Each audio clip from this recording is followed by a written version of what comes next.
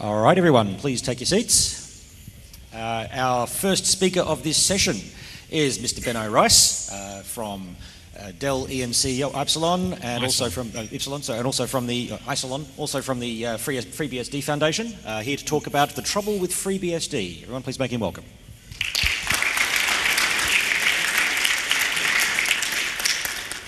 Hesitant as I am to correct Russell, I'm actually from the core team. The foundation is a separate thing, but that's okay. Um, so, yes, uh, my name is Benno Rice. Um, so, on the Isilon front, uh, they generously paid for me to attend here, so I figure I should give them a bit of a thing. We're hiring, uh, we're hiring lots of different people. I'll put some more details up at the end.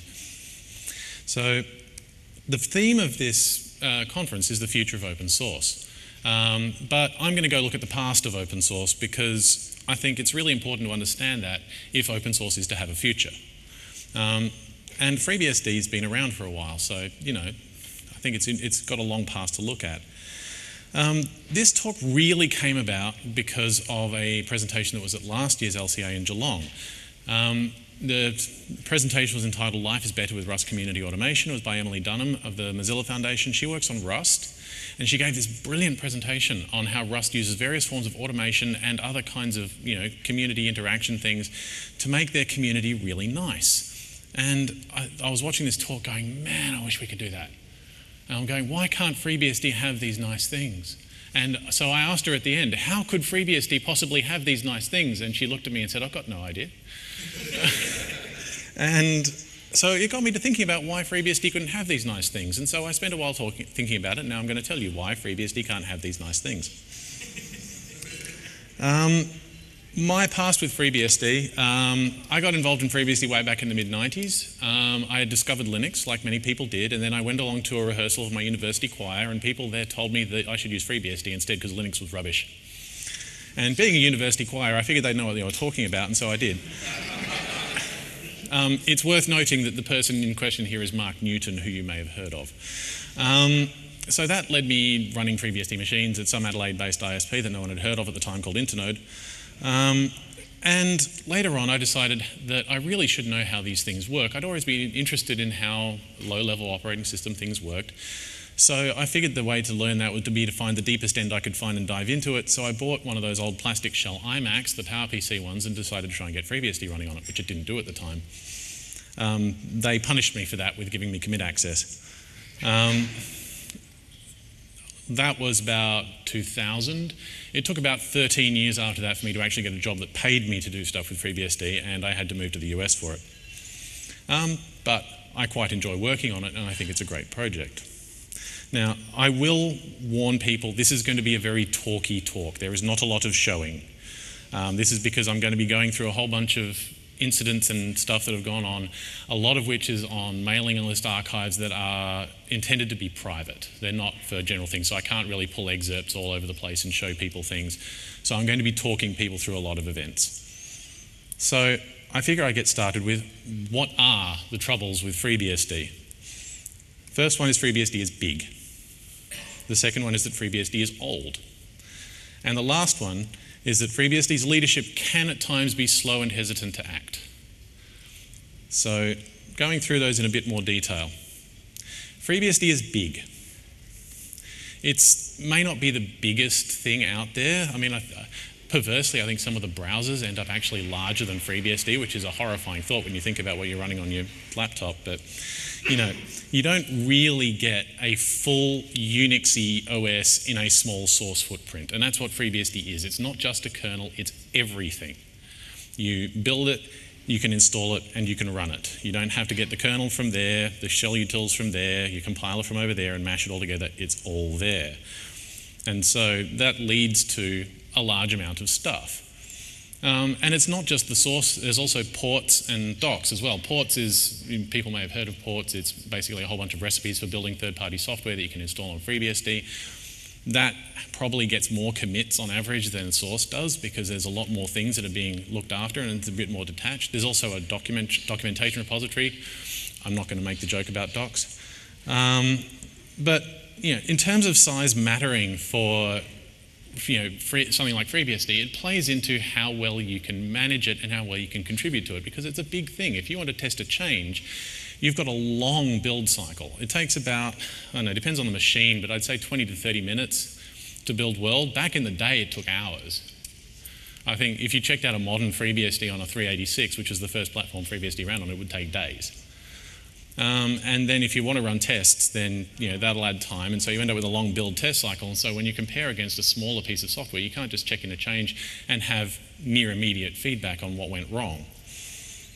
Um, which also comes to FreeBSD as old. It started in November 1993. Um, it was built on top of 386 BSD, which came out in 1992, and that was built on 4.3 BSD Net 2, which came out in 1991. And that the BSD project has history going back to I think the 1970s. And so there's a lot of history there, and a lot of the things that have happened since this came out is that people discovered automated testing. And so, but one of the other things they discovered is that you kind of have to architect your software a certain way to be automatically testable. And one of the things that shouldn't be too hard to get is that automatically testing a kernel can be a bit of fun too. You have to have virtualization, or uh, NetBSD has tricks where they, they pull a bunch of the kernel code out into user space and run it there. But even then, you're going to, unit testing your process switch code, which is generally an assembly right at the bottom of the, the code base, is it's going to be a bit interesting. Um, we do have some tests now. A lot of them we got from NetBSD. Um, a lot of those are focused, a lot of the ones we've got are focused around userland code rather than kernel code. Um, and just speaking of the original BSD project, I did actually get in touch with uh, Kirk McKusick, who was one of the original University of California at Berkeley FreeBSD developers. Uh, sorry, not FreeBSD, BSD developers. Um, and asked them what they had. They used a, a, source code tool. It's called SCCS. You can actually get that as open source now, but it was proprietary within the AT&T Unix uh, stuff at the time, which is why FreeBSD didn't use it. Uh, they didn't have any bug tracking, they just had a mailing list, and a guy called Keith Bostic, who went on to uh, uh, found Sleep, co-found SleepyCat, which developed the Berkeley DB um, source code. Um, he triaged that list and would then hand bugs around if they needed to. Um, distributions were often done by posting tapes. Um, and patches generally arrived via tape or via email once email arrived. Um, and once remote logins were a thing, which they weren't originally, we're talking about the 1980s here, uh, some trusted people given logins to the machine hosting the repository and allowed to make their own commits. And that, control of that was done by a group of about four people that managed the project, including Kirk and Keith and others. So, looking at the last issue, FreeBSD's leadership can be slow or hesitant to act. Community groups are often consensus driven. Um, Linux describes itself as consensus driven. Um, FreeBSD's leadership is a nine person core team elected from the ranks of the active committers by active committers. An active committer is defined as, is defined as someone who has committed in the last 12 months. Core tends to be very consensus driven, partly because it doesn't want to be seen as, seen as picking sides within the community, and for other various reasons. Um, and some of those are, are also due to history, which I'll get into in a little bit. Um, so yeah, it doesn't want to take sides, doesn't want to be in control of architectural direction. There was a lot of argument at one point um, in the original formation of the FreeBSD core team that they were kind of a cabal that would make these decisions uh, that were in their own interest and not everybody else's. And I think that led to a real vibe in the later core teams of not wanting to be the architectural arbiters of FreeBSD because that was not what they felt their point was. The point was that FreeBSD was this large group of smart people and they would be able to come to a consensus on architectural direction of their own. Yes, that works. Um, so, speaking more about sort of the core team. So, core team were the original four people that, that founded the project. That was Jordan Hubbard, uh, Rod Grimes, David Greenman, and one person whose name I didn't write down in here and I've forgotten. I'm really sorry. Nate, somebody. Um, the, as time went on, they, they followed the same sort of model as BSD, where they would take people who were contributing good quality stuff and give them commit access on the machine that hosted the repository. If they kept doing really good stuff after that, they would punish them by dragging them into the core team. Um, and so the core team had grown reasonably large. And so we're talking, so project starts in 1993. We're talking about 2000. A lot of these people are getting either burnt out or they've just disappeared. And also, all the stuff about core team is an unelected cabal that answers to itself and doesn't do the right thing by us had all come around. And so they decided to fix this by changing the core team model to an elected model. So they wrote up a bunch of bylaws as to how we would run an election, and they duly ran an election. And from about 2000 onwards, we've had the nine person core team that gets elected either every two years or when the membership drops below seven people. And this has been doing all right, but as I said, consensus driven, and so it can be a little bit slow to get things done. It can be interesting to talk about the wider scope of project leadership. I mean, you could also talk about your benevolent dictator for lifestyle models like Python and like Linux. Um, I don't think it makes a huge difference in some cases. There are some events, and some of those I'll get into a bit later, where no matter what your leadership is, it's going to have problems. And also, strong leadership or decisive leadership is not the same as good leadership or nice leadership. And the fact that I'm bringing up Python and Linux here, I think you can look at the difference in personality between Guido van Rossum and Linus Torvalds and see that you know, there, there are quite different styles in how those people manage their projects. So, what I'm going to do now is go through a couple of events in the history of FreeBSD and talk about how they were dealt with and describe what happened, and then I'll try and t- make a few points off the back of those. So, tools and processes. The core of every project, well, there are two cores there's the people and there's the source code, and the source code needs to be looked after. So, you have source control. FreeBSD, like every modern forward thinking pro, um, project at the time, used CVS. And that's actually not a ridiculous thing to say because at the time, you know, SCCS came out in 1972 and was written in SNOBOL. Then they wrote it in C again. Uh, it's open source now, but it certainly wasn't then, so we couldn't use that. RCS came out in 1982. If anyone's run into RCS, it only works on one file at a time. Um, so someone wrote a bunch of shell scripts to make it deal with more than one file at a time and called it CVS. Um, I don't think it's shell scripts anymore, but it was at the, the start. And then over time, you had a bunch of other ones come out that, of various sort of types of awesomeness and various things. That's not a complete list, there are many, many others. So the question is often why didn't FreeBSD move off CVS sooner? I mean, we're talking 2000 when the new core came in. We had a couple of options there. Um, so CVS we started with. CVS, I don't know, how, who here has actually used CVS in anger? Oh my God, so, so many scars. Hands up who deeply, deeply loves CVS's ability to branch and merge that person there has Stockholm syndrome. Um, so, FreeBSD, having realized how excellent CVS branches were, used them for, for precisely one thing, which was release engineering. Um, we had a, a you had the head of development, you had a stable branch, and releases came off that stable branch. That, that model evolved over time. Initially, it was just one stream of development, and everyone was told, stop doing what you're doing right here so we can do a release. And everyone eventually worked out that was really irritating, and so then it became stop what you're doing for a little bit while we do a stable branch and then keep going. Um, and that was that would do pretty well. I mean, it also tied in with the, the fact that a lot of the support for FreeBSD at the time was coming from a company that sold CD-ROM images of FreeBSD. Um, and they liked to have nice regular releases so they could sell them.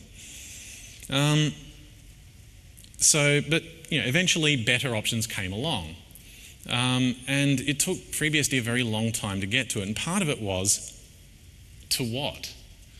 I mean, in 2000, you obviously had things like Subversion showing up. Um, BitKeeper was an option at that point, uh, but it was proprietary.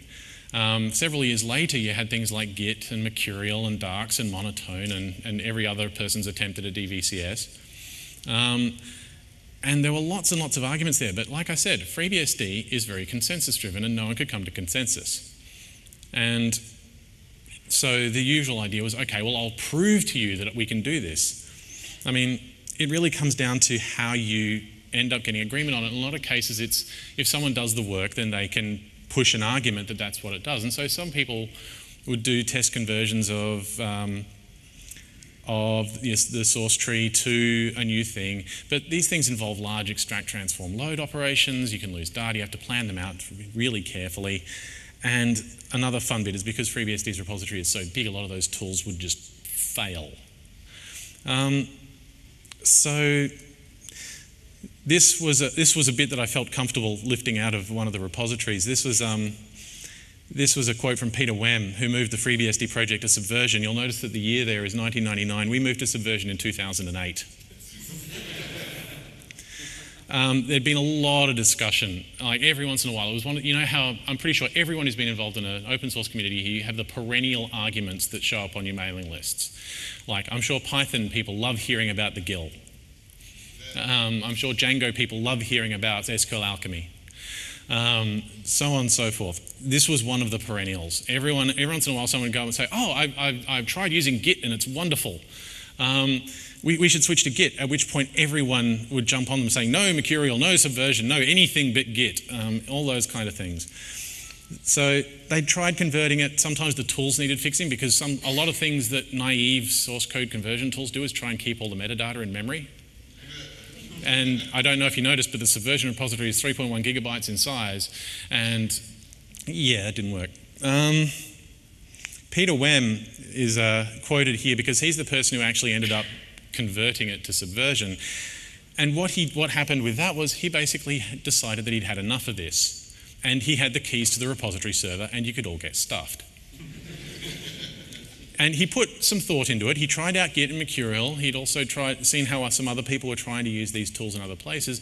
And he came to the conclusion at the time that both Git and Mercurial wouldn't deal with a project of our size, just in terms of raw stuff that's in the repository, which is probably fair enough at the time. Things might be different now, and there is a FreeBSD um, repo on GitHub now.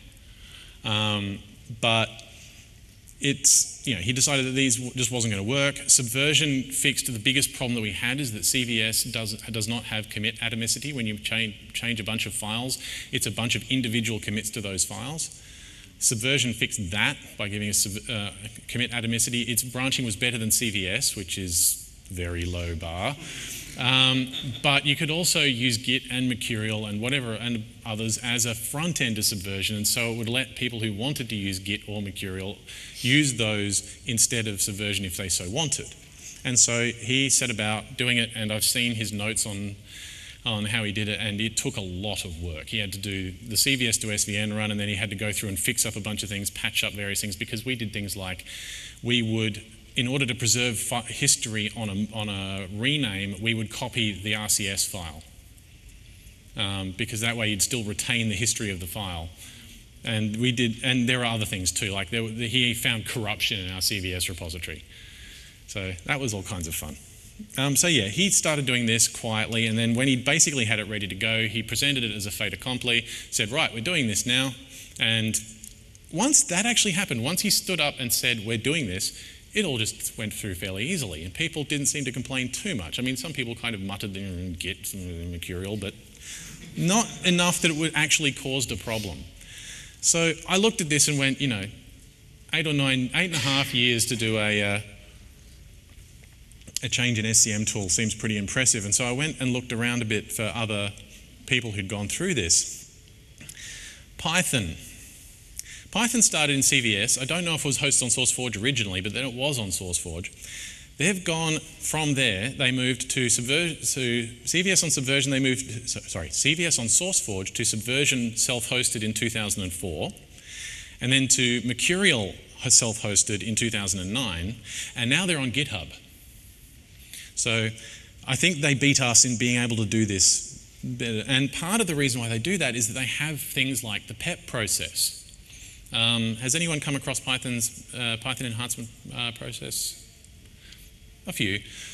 PEP is, PEP is heavily documented, funnily enough, in PEP 1. Um, but it's a bit like the RFC system. The gist is you write a PEP, there's a group of PEP editors who can help you get your PEP up to a submittable standard. You submit your PEP for consideration, and then either Guido, as benevolent dictator for life, or one of his chosen delegates, possibly in consultation with others, will decide whether it goes ahead or not. That's the very short version. But the thing is that PEPs can cover a whole raft of things. They can cover changes to the standard library, they can ch- cover changes to the language, they can cover changes to CPython, they can cover changes to programming conventions, style, or even the development process of Python itself. So if you want to make a change in Python, there's an obvious process for you to go through to try and make that change happen. Um, which is why PEP is good. It's not the only community with a process kind of like that, but it's it's really good way of formalizing your requests for change. It, makes, it forces you to think about it and make sure that your, your argument is, is well stated. And it makes, makes you think it through because you're going to have to, you know, this document is going to be read by everyone who's then going to come and tell you why you're wrong. And so you need to make sure that you're not wrong. And assuming that your leadership is, you know, keeps up with this process, which, you know, Python does because it's not just Guido, he can delegate um, then things proceed quite nicely. And once they're approved, then you've got the imprimatur of the project leadership behind you and you can just go. So the other one I looked at is uh, Django. Django moved from self-hosted subversion to GitHub. They don't have a process like PEP, but they have a smaller development body, and you have a subset of those that are really active at any given point.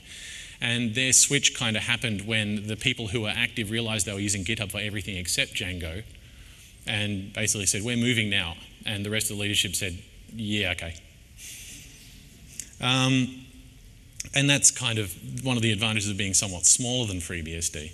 So, what could have been done better in this process? The first one, I think, is because core doesn't want to be seen as the arbiter of architectural direction in the process, uh, in the project, they don't feel like they should take sides in an argument like this. And so the way that they would deal with it is they'd say, off you go, do a proof of concept. And that would be generally fairly effective at shutting them up, which is not always what you want. Um, I don't know whether core in FreeBSD could have done this one better. I think the only thing that would have made it faster would be picking sides, but would that have caused uh, undue project angst, I don't know. If we had a process like PEP in place, that could be interesting. Retrofitting a process like PEP onto an existing project um, runs the risk of everyone ignoring it and it just not working. So, and it's not just uh, moving to Subversion. We still get discussions about moving fully to GitHub. We are sort of half on GitHub in that we have a FreeBSD organization with the FreeBSD repository in it but don't bother submitting a pull request because we're unlikely to see it. And that's a problem for me. It's one of the things that I'm pushing personally is that we either need to be all the way on GitHub or all the way off GitHub, or at the very least, we need to be able to respond to the things that show up on GitHub. So we need some kind of tooling in place that will take pull requests and try and put them into our Phabricator instance or something like that.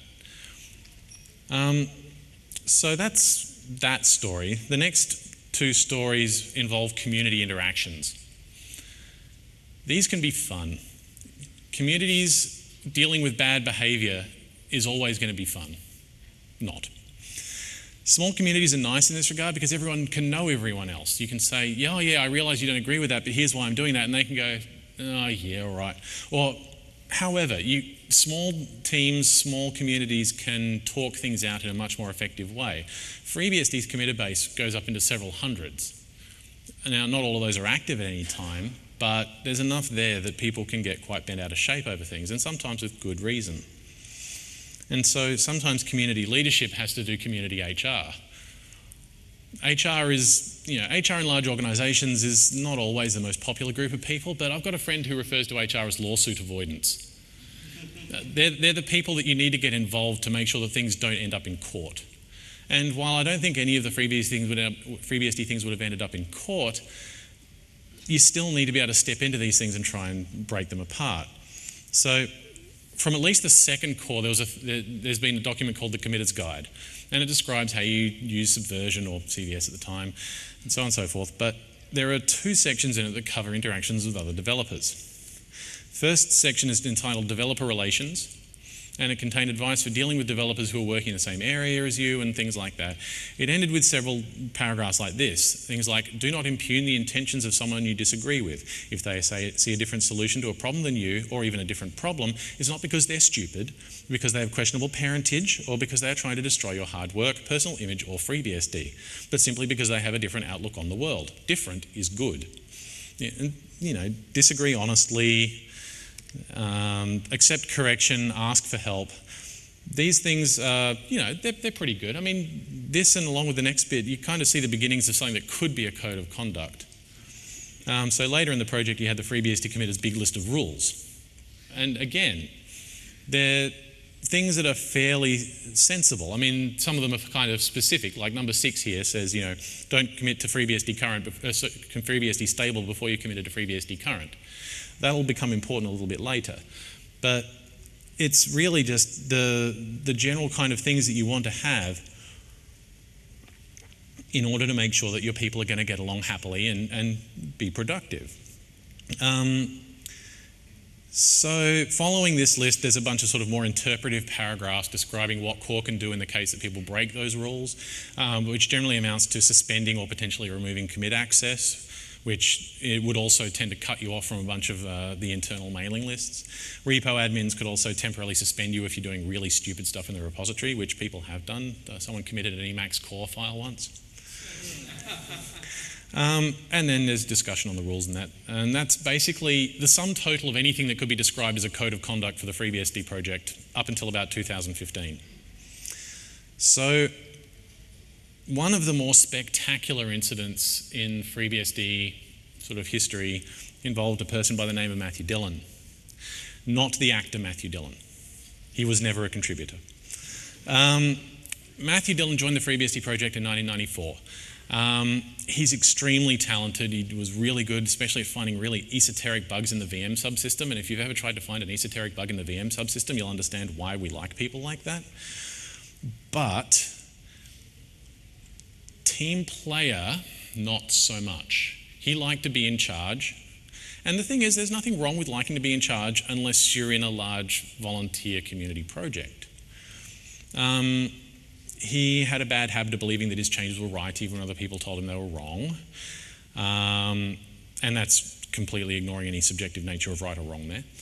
Um, and he often would take charge in a given area to the expense of, at the expense of anyone else working in that area. So here is a bit of technological background for what was happening at the FreeBSD at the time. This is about 2002. FreeBSD 3 and FreeBSD 4, which were, was out at the time, had very basic multiprocessing support. It had a big kernel lock in the same way that Linux did when it first started. Multiple user space processes could be running at any given time, but only one could be the, in the kernel. We wanted to fix this in FreeBSD 5. Um, at the time, we'd also gained access to not only to the BSD-OS source code, which is a commercial version of FreeBSD, which had multiprocessing support. So we were looking at the way that they did it. And one of the people looking at that was a person by the name of John Baldwin. Uh, John Baldwin is a lovely guy. Uh, he'd, he'd basically gone through and worked out a, a, process by which we could start breaking up our giant lock, um, which was called Giant, hence the. Um, and he'd written this up into a presentation, he presented it at a conference, everyone seemed to be going along with it, and um, Matt Dillon got really interested in working in this space too, and so they started working out a way to sort of start breaking this lockup. And it started off fairly well, um, but then they, they ran into a problem with a, a thing called critical sections. Critical sections are a bit of code where you do not want to be switched out. So you've got a currently running thread, you don't want it to be preempted. And so you mark the section as critical, and John had, John's original cut of how that worked just suspended interrupts. So you could not take an interrupt, and so you would never get moved off that processor during that section. Matt thought that this was inefficient and committed a change that sort of didn't disable interrupts, it would just um, set a flag that would then tell the low level interrupt handler just say that's pending and we'll deal with it when we get out of the critical section. The reason for this was that disabling interrupts on x86 at the time was expensive, and Matt didn't like the fact that it was slow.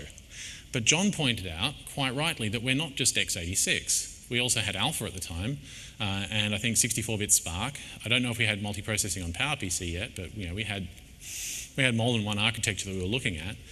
And that was a very architecture-specific optimization, and some of his changes also violated the machine-independent, machine-dependent parts that he was trying to work on. But, and so this led to them having large, large arguments. And Matt eventually, after a lot of very blunt disagreement, backed out his change because he'd committed this. Core was then stuck in the middle of a month long debate between John and Matt over who was right. Well, what I actually mean is that John would say, no, this, this, this, and this, and Matt would say, get nicked. Um, and eventually, um, Matt, they came to a level of compromise where Matt got his change. Uh, the machine independent, machine independent stuff got fixed up. That change went in, and things kind of calmed down a bit after that. But, you know, when we look at this, we've got a classic Rockstar Ninja 10x developer going on here. Um, digging back through the mail archives, I found a lot of cases where we tried to get Matt to listen to John um, and various things like that, and it just really didn't work. So, what is Core going to do about it? So, there was a lot of argument going on on the free mailing list at this time, and so we ended up with Core ended up posting a lot of rules about how we would suspend people if they were being too mean, um, and various things like that. Um, eventually, the problem came to a head where um, Matt committed that. This was in about 2003. Um, it doesn't seem to be too controversial, except that it violated some layering stuff, and it was also in the middle of just after we'd cut a stable branch for five, which would taken a long time to get ready. And eventually he backed it out with that commit. and that and really, going through the mail archives, it was really clear he didn't realize that what people were objecting to with that was not the fact that he'd made the change in the first place, it was the message. And eventually, Core took his commit bit away. Um, and that was, you know, leadership is hard. And dealing with 10x Rockstar Ninja developers, when you don't, all you've really got to go on is a set of sort of written down rules, is difficult. Had we had a, like a modern form of a code of conduct at that point, then maybe John could have raised something off that, or someone else could have raised something off the back of that. But yeah. But anyway, after he went, things calmed down for a while until Gamergate came along. My candidate for the most obvious and least controversial statement in history Gamergate was a burning trash pile made of other burning trash piles. I'm not going to go into what Gamergate actually was, save that it kicked off in the gaming community and rapidly became something that was very hard to avoid on Twitter. But one of the people who figured in Gamergate was Randi Harper. Now, Randi Harper used to be a FreeBSD developer. She did a bunch of work on the installer, which was a really annoying piece of software, and so we were really grateful for it. And the person who was mentoring it proposed it for a commit bit, which she got.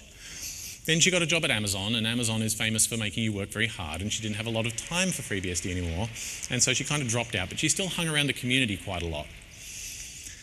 Randi was working at a gaming company doing DevOps stuff when Gamergate kicked off. Randi, as she is wont to do, started getting into it with some of the garbage humans of Gamergate. And as the garbage humans of Gamergate are wont to do, they started dogpiling her and being the truly wonderful human beings that we came to know them as. Randi decided, while drunk one night, to try and get rid of them with a Perl script. and so she wrote GG Autoblocker. Um, and it turned out to be really good at blocking them, which of course made them lose their goddamn minds. Um, and so they stepped up their harassment campaign and started targeting everything to do with her, including FreeBSD.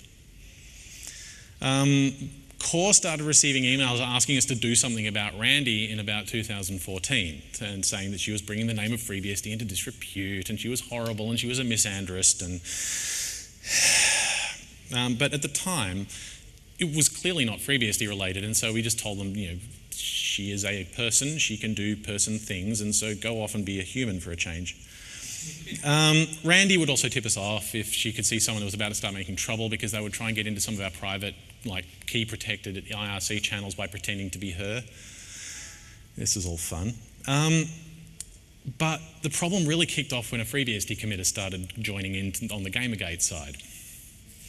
Um, so he was a ports committer, not a source committer, but that's not really important in this.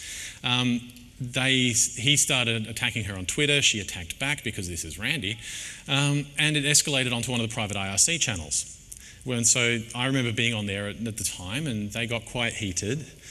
But then this guy leaked the log of the channel, which is specifically stated as something you're not to do. And he leaked it to Milo Yiannopoulos of Breitbart.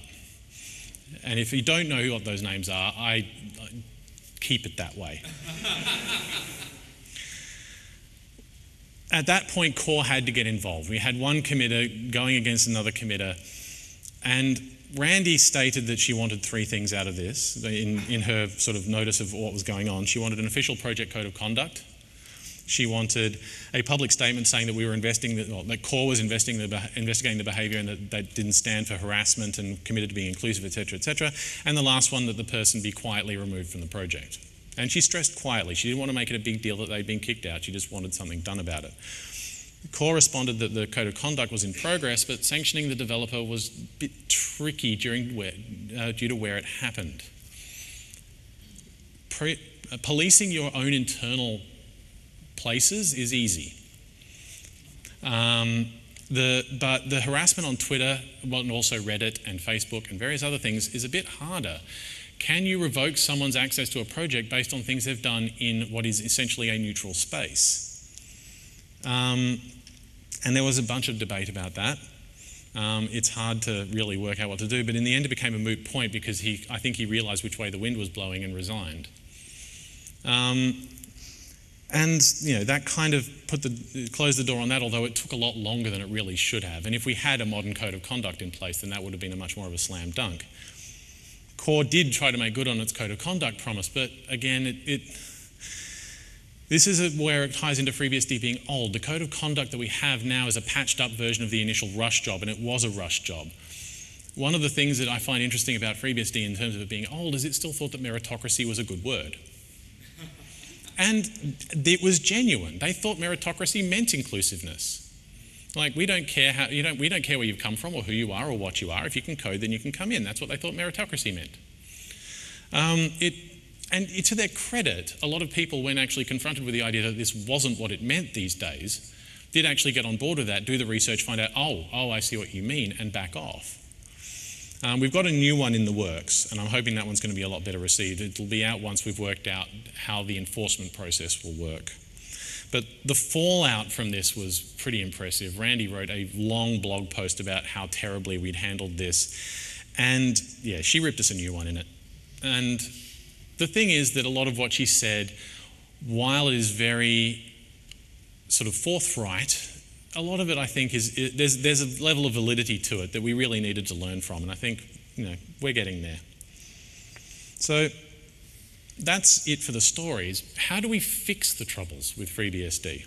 So just to restate, FreeBSD is big. I don't know if this will ever get fixed in a project named FreeBSD. Someone could take our code and make a stripped down thing to run on something smaller or change the way it works it wouldn't be FreeBSD per se, but it would be the same code, and that would be fine. FreeBSD itself could do a few things. I mean, think, we still have SendMail in our base system, and you know, that's probably not necessary these days, especially since we have you know several other MTAs in ports.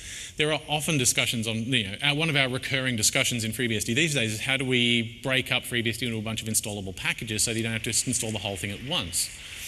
These don't um, fix the build, test, build, install, test cycle thing so much unless you've got things like incremental builds, but people are working on that as well. So there's a lot of stuff that's going on. And to be honest, this is one, way, one place where people could help us. If you're interested in things like automation and testing and virtual machines and all that kind of stuff, FreeBSD is wide open for that kind of stuff. And if you were interested in doing any of that, come and talk to me because I will, I will hook you up with people and I will mentor you, myself, mentor you myself if you need it. That's my email address. Come and find me. Um, FreeBSD is old. It's not exactly going to get any younger, but really the issue there is that changing community attitudes is hard when they're baked in. Um, the source code discussion is one of those. People don't want to move to GitHub because we're really attached to having things on infrastructure we control. And there are ways that we could work around that, but there would have to be an attitude shift before everyone really accepted it. Um, and the last one, FreeBSD's leadership. This, this is fixable, I think, but it would require an attitude shift on behalf of Core. I am on Core. I, I probably do with a bit of an attitude shift towards being more active as well. I think but the thing is that I don't think we need to necessarily be the architectural leaders of the project. What we need to be is the leaders of the, the scaffolding of the project. We need to make sure that all the things that the project needs to do a good job are present and available.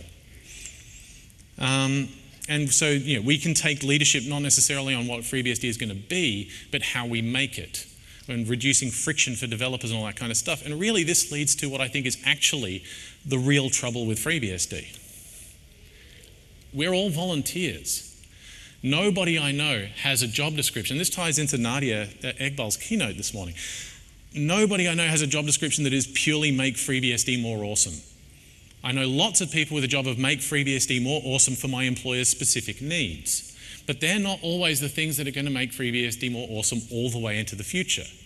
Because in a lot of cases, you know, if FreeBSD has a faster build cycle, that helps them a bit, but it's not a huge thing because they've probably already got something in place that does that.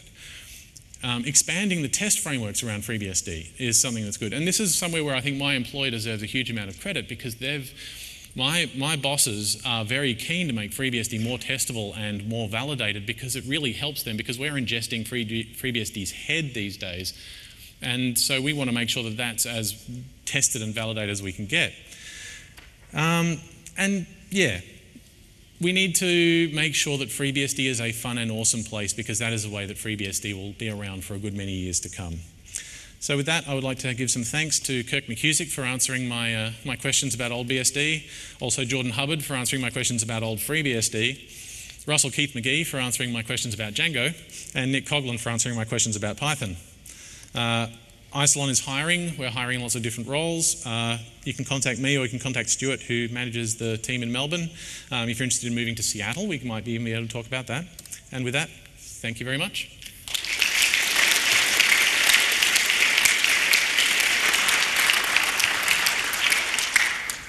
Thank you very much, Benno. Uh, we have time for a couple of questions. Uh, if anybody has any hands, there is. Hang on a second. It's not really a question. It's going to. no, it's not a question. Boo. No. Um, Come and talk to me after. Are there are there any actual questions? So does anyone have a question that needs to he be said, asked? It is relevant, It, that doesn't matter. If it's not a form of a question, if you want to submit a paper next year, go right ahead. Uh, does anyone have a question?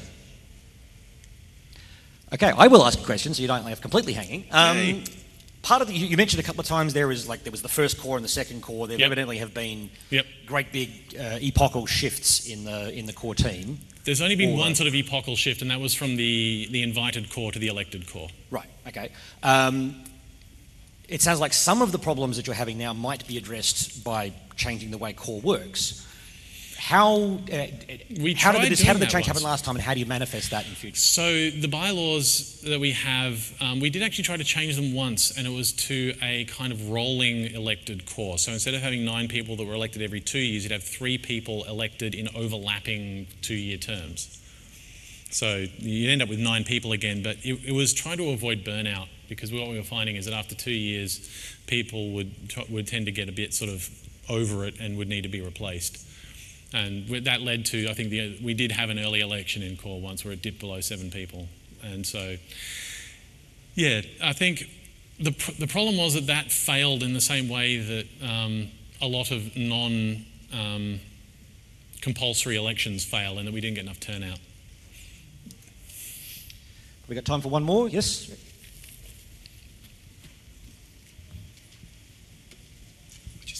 Uh, you, you say. you, didn't mention oh, oh, yeah. You, you said that um, you felt that nobody was paying for people to make FreeBSD better. Why do you think that is? What, what has caused that situation? So, FreeBSD has never had a red hat. That's part of it. I mean, if you look at if you look at the realm of people who are paying to do work on things like kernels and operating systems, you've got two broad categories. You've got people like um, trying to think of someone. Um, no. Okay, so you've got people like Red Hat, SUSE, like that, who sell Linux distributions, and so they care about Linux as a whole in a very kind of holistic sense. But then um, I'm drawing a blank on, on companies that do things like this with Linux. Well, okay, let's take IoT devices. I, IoT devices, um, people who sell those care about getting Linux running on tiny little MIPS chips, and then they care about connecting it to an internet port somewhere, and then they care about selling it to you, and then they care about, oh God, we're going out of business because our product's a gaping security hole.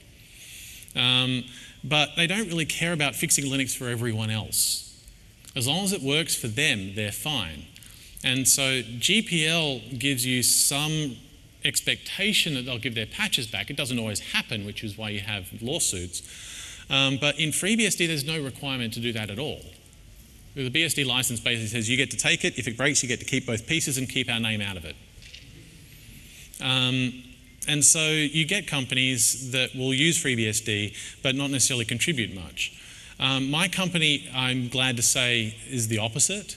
We consume FreeBSD and we give back a fair amount. We don't give a lot in the form of raw cash, but we devote a lot of person hours to it, and we support things like conferences and things like that. Um, other companies are similar. Netflix, for example. If you watch videos from Netflix, all the bits that you're making of the video that you see come off a FreeBSD box. And they have a very active team who are trying to push their changes up and make FreeBSD a better place. Um, other places that have used FreeBSD, though, we don't see a lot more out of, like uh, Yahoo, for example, used FreeBSD for a very long time. Now, they paid for some people. Peter Wemm was an, still is an employee of Yahoo, um, and he did a lot of incredible work, but I don't know if they, they, they weren't really focused on upstream very much. Unfortunately, that we are out of time now. Uh, I would like to thank you very much for your presentation. Thank a you very small much. token of appreciation from the uh, organisers. Thank you. Everyone, please give Ben a warm round of applause.